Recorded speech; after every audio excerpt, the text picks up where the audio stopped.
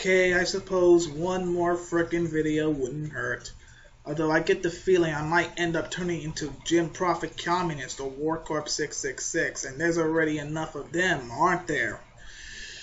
Okay, this one I'm responding towards this page uh, called um, it's it's on 2020. Holy shit, 2020.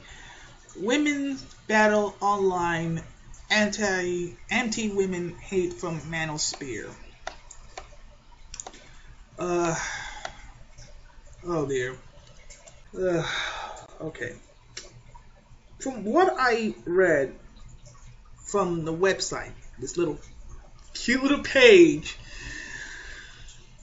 apparently Anita Sarkeesian is using her victimhood to her advantage again, you know, because like she hasn't done that before. And I I knew that I knew that she was gonna go on, on some stupid some stupid stupid news report whatever. I knew that she was going to abuse that fucking shit. I mean, she done it on CNN, TEDx, and now here on 20 fucking 20. And I barely watch 2020 at all. I really don't give a shit about 2020.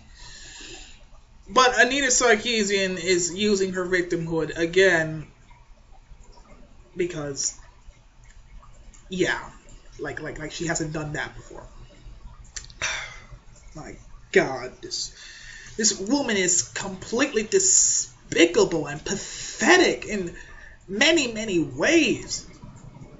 I mean, I have never seen this person any anybody at all, you know, cry so freaking much that they're being attacked on YouTube and any other website. Hell, Caden Calgary, I'm pretty sure he's being attacked on YouTube as well. But at least with him, at least with Caden Calgary, he doesn't, you know, cry on CNN or ABC or Fox News or whatever. At least he sucks it up and, you know, continues going on. He doesn't use his victimhood as like some sort of weapon to gain more mass, you know, to grow a freaking ego. No. Instead, you know, you know, instead of actually finishing her kick, you know, her little videos, which I swear to God that by the time she does finish her videos, it, it, it's gonna I'm gonna be a freaking old man, or at least somewhere in my 30s, probably having children, because she's taking a long ass time. I mean, by now, any gamer, any gamer with experience would know these freaking tropes. It doesn't take months, months and months of months of studying.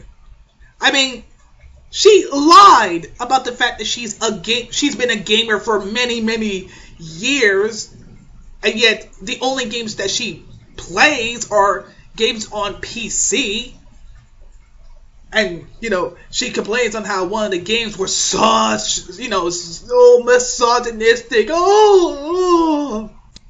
And she thinks we are attacking her because she is a woman with a voice. And not because she's a dumb ass moron who knows nothing about video games. This seems to be the common argument you see with feminist frequency fans every freaking time.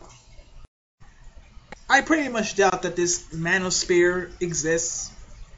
You know, this manosphere only pretty much exists in areas where only um, paranoid men who think that women are trying to take over the world or whatever. Because I'm not a part of the MRA. I'm not, you know, I'm just not. I'm a humanist. Well, more or less a humanist. But, uh, Anita Sarkeesian is basically putting anyone who opposes well, any male who opposes feminist frequency as a part of this manosphere because, you know, they, they they just fear, they fear that, you know, that she's trying to take away our balls or she's, you know, trying to destroy manhood or whatever. It's not the fact that she's trying to take away something or the fact that she's a woman trying to speak out her mind or whatever. It's the fact that she is misrepresenting a community. That's about it. I don't know how else to explain this towards feminists because, you know, these feminists, what they hear in one ear just come out another ear that says misogyny. That's all about it. That that's about it. Because that's what feminists are. A group of ignorant, dumbass people. And I have dealt with loads and loads of feminists before. Oh, I just farted. okay, I think I'm done here. I am the Atheist Gamer. Peace the game out.